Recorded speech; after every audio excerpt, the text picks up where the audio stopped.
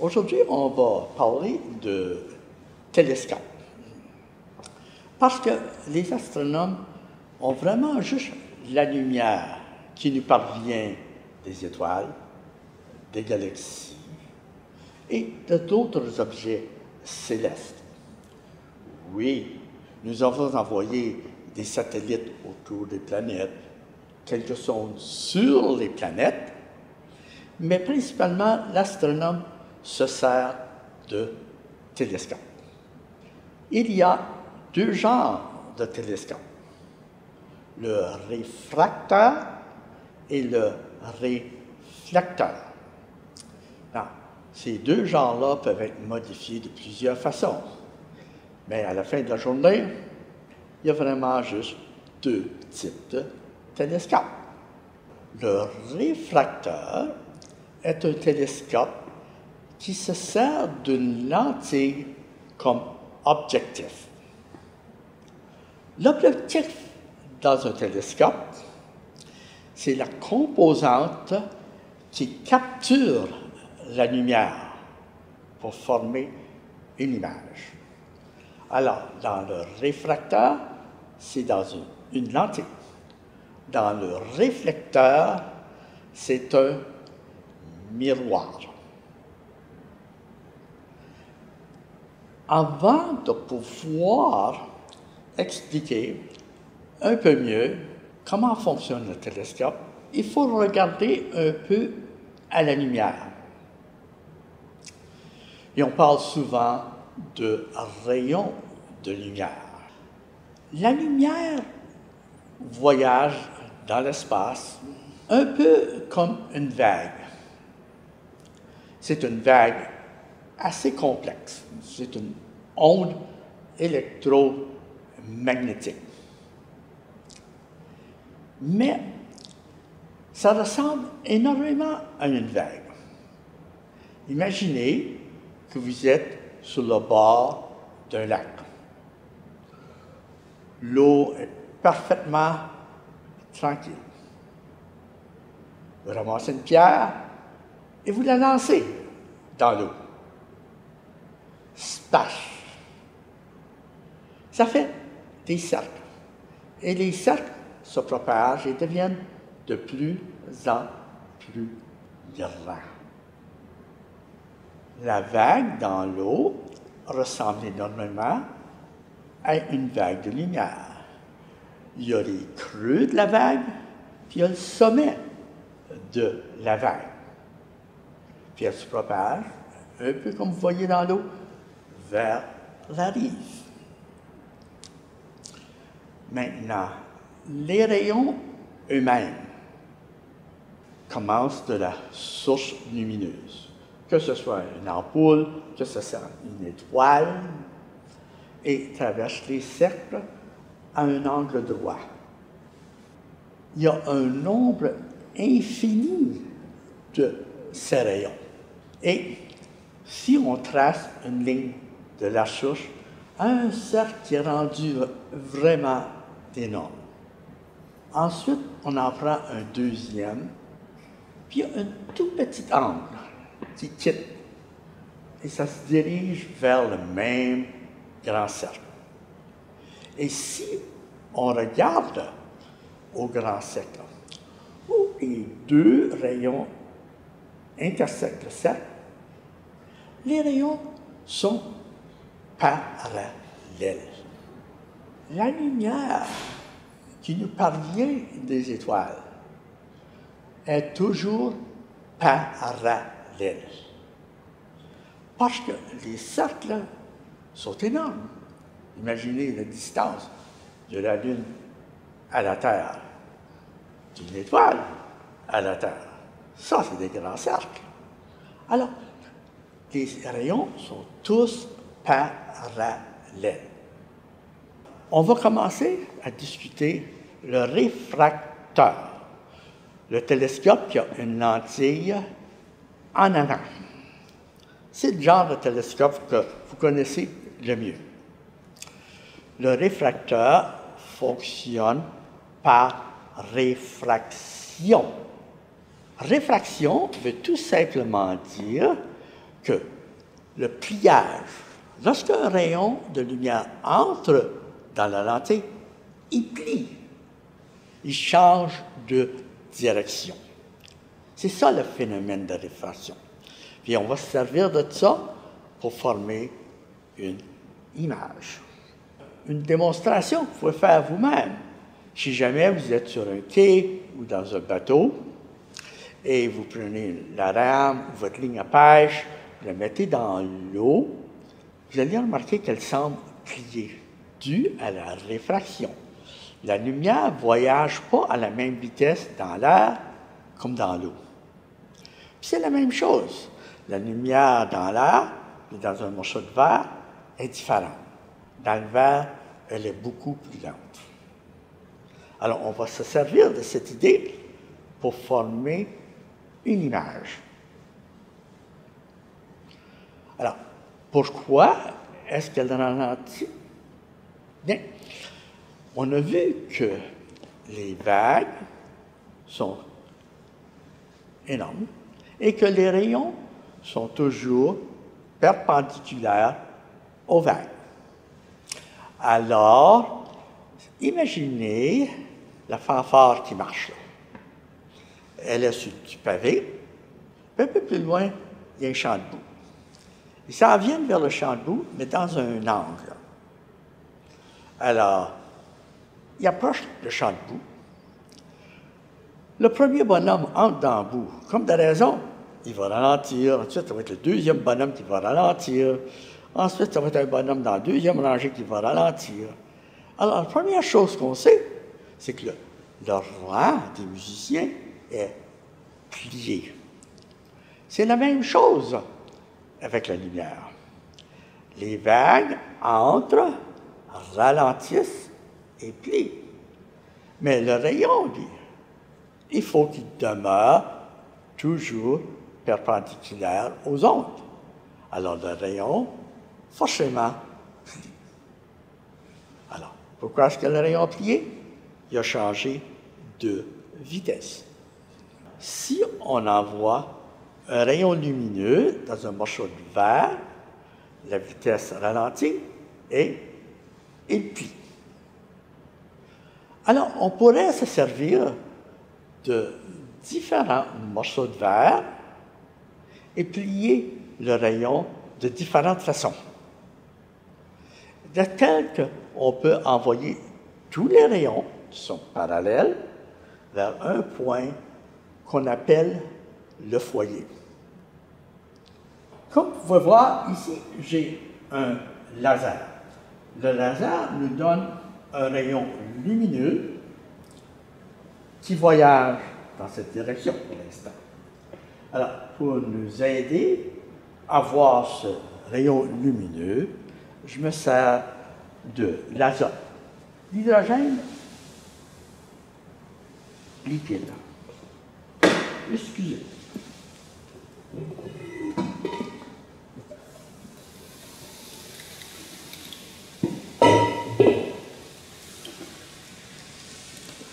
J'y ajoute de l'eau et j'ai un beau nuage. Et on peut voir le rayon de laser.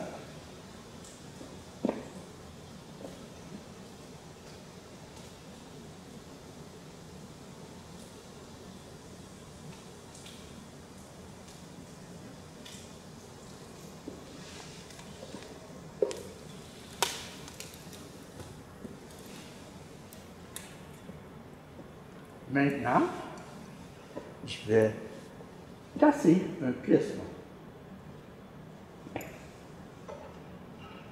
Directement dans le chemin du rayon laser.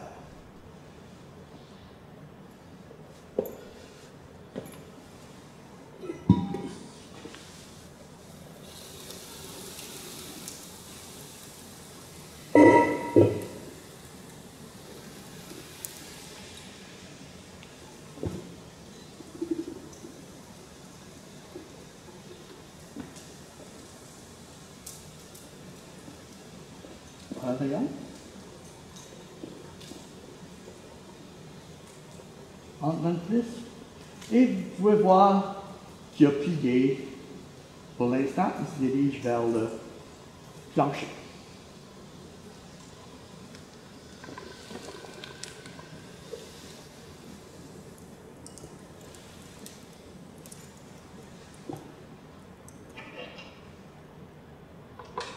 Quand on parle de rayons, il y en a un nombre infini. Moi, j'en ai pas un nombre infini, mais avec le petit instrument,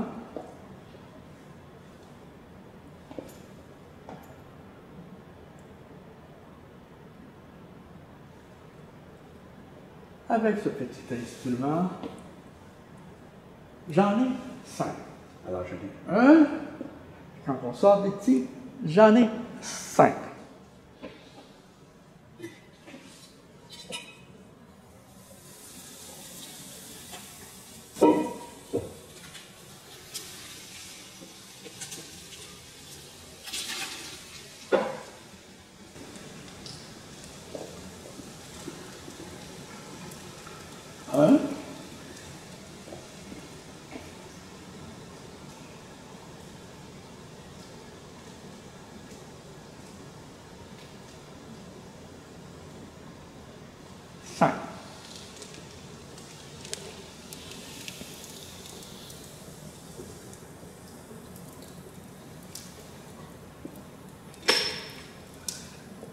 Maintenant, je vais me d'une lentille.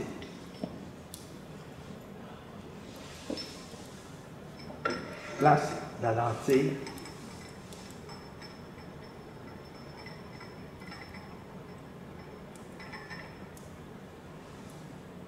que les rayons frappent, cinq rayons frappent la lentille.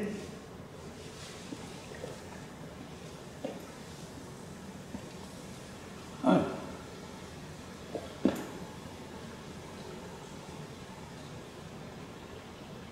Cinq.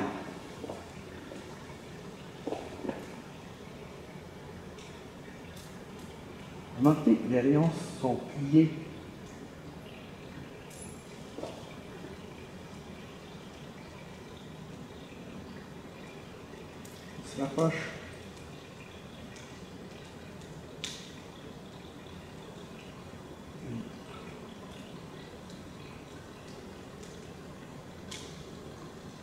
Les voici au point focal de la lentille. Les rayons de lumière qui viennent de l'espace sont parallèles. Ils entrent dans la lentille et se dirigent vers le foyer. Alors, on peut voir ici un objet qui est près de nous, disons un arbre. La lumière qui part du sommet de l'arbre entre dans la lentille. Si le rayon est parallèle à l'axe de la lentille, il va plier et se diriger vers le foyer. Maintenant, si je prends un deuxième rayon qui vient encore du sommet de l'arbre, il arrive à la lentille. Il plie quand il rentre, il plie quand il sort. On a l'impression qu'il voyage en ligne droite. Mais il ne passe pas dans le foyer. Mais un peu plus loin, il rencontre le premier rayon. Et c'est à ce point-là que l'image est formée. Maintenant, si je recule l'objet, prends un objet qui est plus loin. Bien, le rayon qui part du sommet passe encore dans la même position. Mais le rayon qui passe au centre de la lentille, encore une fois, plie deux fois, et les rayons se rencontrent, et ça forme une image qui est beaucoup plus près du foyer. Alors, on a une plus petite image et elle est plus près du foyer. Et si j'éloigne l'objet très loin, comme la Lune, les planètes, l'objet est tellement loin que l'image se forme exactement au foyer. L'image est très, très petite. Mais cette image est tellement petite qu'on a de la difficulté à voir des détails. Et c'est pour ça qu'on ajoute une deuxième lentille à l'autre bout du télescope. Cette lentille s'appelle un oculaire. Et c'est seulement qu'une lentille est plus petite que l'objectif. L'objectif, c'est la première. L'oculaire est beaucoup plus petite, à une distance focale beaucoup plus petite. Et comme toute lentille, le but de cette lentille, c'est d'agrandir l'image. Alors, on regarde la petite image avec une lentille qui a fait paraître plus grande et on peut voir les détails dans notre image. Si vous voulez construire un télescope, ce n'est pas très très compliqué. Il s'agit d'avoir deux lentilles. Il ne faut pas qu'ils soient la même grosseur. Alors, ça, ce n'est pas des lentilles dispendieuses. Ça vient de Dollarama. Alors, la plus grosse, c'est votre objectif. La deuxième, c'est l'oculaire. Alors, si on veut faire le télescope, on pointe vers l'objet qu'on veut voir de plus près et on ajuste le foyer et voilà, j'ai un télescope. L'image est à l'envers comme de raison. Un simple télescope facile à construire. Le réfracteur. J'ai mentionné tout à l'heure que la lumière est une onde électromagnétique. Eh, des exemples d'ondes électromagnétiques. Les ondes de radio, les ondes de télévision, les ondes de radar, ce sont tous des ondes électromagnétiques. La différence entre ces ondes, c'est la longueur des ondes.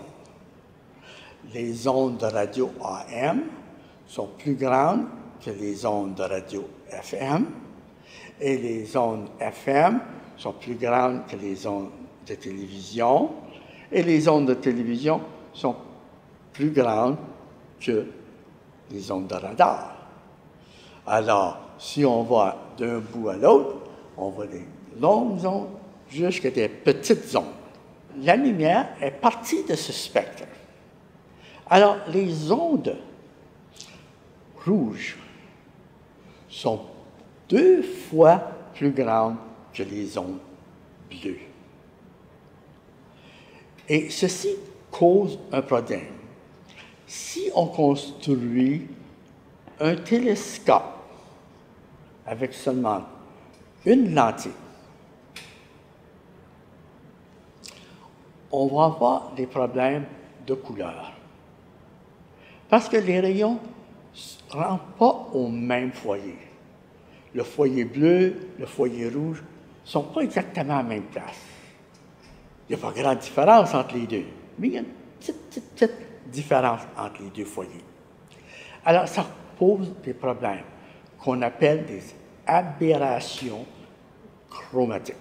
C'est-à-dire qu'on n'a pas tout à fait la bonne couleur. On peut corriger les, les distorsions de couleur, ces aberrations, en ajoutant une deuxième, une troisième lentille. Pour faire une bonne lentille où toutes les couleurs seraient à la même place, ça prendrait environ sept lentilles. Alors, le coût du télescope vient de monter énormément. Un deuxième problème, c'est qu'une lentille ne peut pas être construite plus grosse que environ euh, un mètre. Parce que le verre de la lentille, c'est flexible. On dit fluide, c'est pas comme de l'eau. Mais sous son propre poids, glisse. Alors, ça, ça défait le foyer. Le plus gros télescope réfracteur que nous avons construit est environ un petit peu plus qu'un mètre de grosseur. Ça, ça ne veut pas dire que le réfracteur est pas bon. Le réfracteur est un télescope superbe, mais il coûte très cher. Alors, c'est pour ça qu'avec le temps, on a développé le télescope qui se sert de miroir. Ce n'est pas un miroir ordinaire, c'est un miroir qui est concave, c'est-à-dire qui est courbé, courbé. Et de telle façon que tous les rayons rebondissent sur le miroir et aboutissent à un foyer, un petit point, où encore une fois, on retrouve une petite image. Et l'image est petite, alors ça va nous prendre un oculaire pour l'agrandir.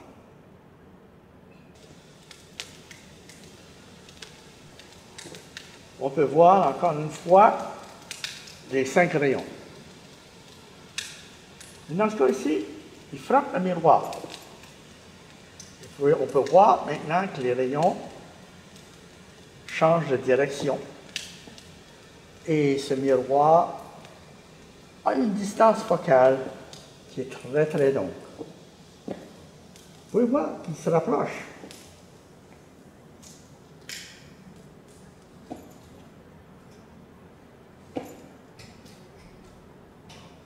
Encore une fois, les rayons se convergent vers un point et encore une fois, ça nous donne une image qui est très, très petite. Et il nous faut, comme le réfracteur, dans le réflecteur, il nous faut un oculaire, une deuxième lentille pour agrandir l'image. Nous allons voir dans quelques minutes un des problèmes. Ici, nous avons un réflecteur. C'est un tout petit, mais c'est un réflecteur. Dans le réflecteur, la lumière entre à ce bout ici, descend le long du tube pour frapper le miroir qui se trouve à la base du tube. Là, les rayons remontent le tube et forment un foyer qui se trouve à l'intérieur du tube. Là, c'est là où entre le problème.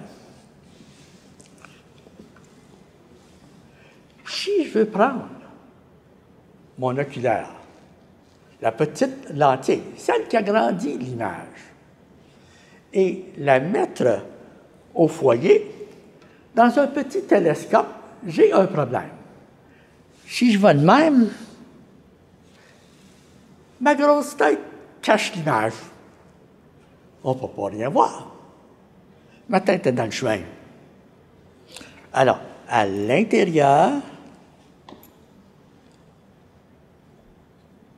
ici, on a un petit miroir. Là, on voit juste le dos du miroir on peut voir qu'il plie les rayons, les font sortir du côté. Et l'image est formée ici.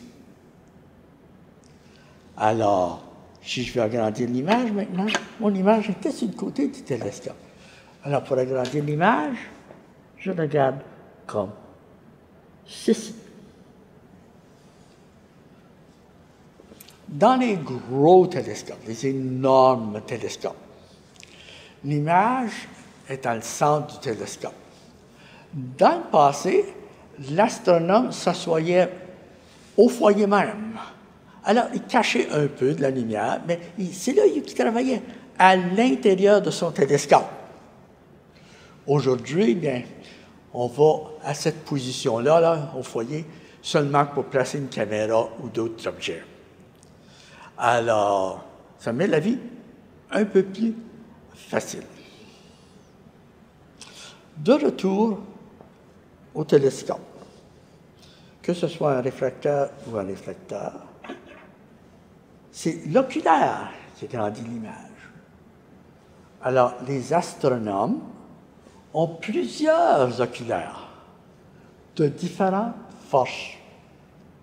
Alors, quand on observe un objet, on commence avec un oculaire. Ah, c'est beau. Alors, je voudrais le voir encore d'un peu plus près, avec plus de détails. J'en prends un deuxième ou un troisième pour améliorer l'image.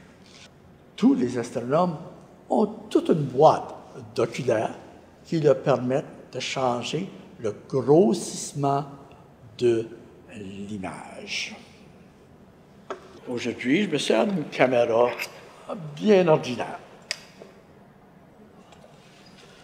Et intéressant, je n'ai pas besoin de lentilles. Alors, on enlève la lentille.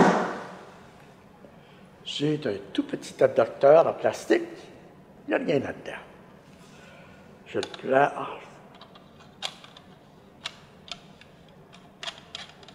Sous la lentille. Pour photographier maintenant, il s'agit tout simplement de placer la caméra où se trouve l'oculaire. Et maintenant, je suis prêt à prendre une photo. On peut prendre des photos, mais aussi, alors voici un photomètre. J'enlève l'oculaire du télescope et je le place dans le photomètre. Ensuite, je peux placer le photomètre dans le télescope. Maintenant, je veux choisir une étoile. Bien, là, j'ai un petit miroir. Je le tourne. Je regarde. Ah, c'est cette étoile-là que je veux. Alors, j'enlève le miroir. La lumière maintenant passe directement au photomultiplicateur qui enregistre la brillance et ceci est envoyé à un ordinateur, ça me donne la brillance exacte de cette étoile. Ensuite, je vois une autre étoile, une autre étoile. La lumière qui nous parvient des étoiles contient beaucoup d'informations comme la température de l'étoile. Alors, nous avons une équation qui est appelée Wayne's Law, qui nous dit que si tu connais la couleur de l'étoile, la couleur la plus brillante qu'on change en longueur d'onde, on a vu tout à l'heure, les rouges, les ondes rouges sont plus longues que les ondes bleues. Alors, les ondes jaunes seraient dans le milieu. Alors, chaque couleur a une longueur. Alors, il faut que je trouve quelle onde est la plus brillante, quelle couleur est la plus brillante. C'est la même chose. Mais comment est-ce que je fais ça? Bien, à l'intérieur du photomètre, j'ai une série de petits filtres. J'en ai des rouges, des verts, des jaunes, des oranges, du bleu, du violet. Et je fais juste tourner et je regarde. Bon, le rouge me donne tant de lumière, le bleu m'en donne presque pas, le vert m'en donne beaucoup. Oh, l'orange m'en donne de plus. Ah bon, alors c'est une étoile orange. Je regarde dans mes feuilles et je vois que orange a une telle longueur d'onde.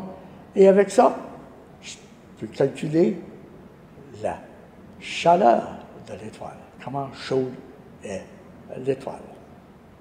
C'est seulement un des instruments qu'on sert pour étudier les étoiles. Merci, bonne journée.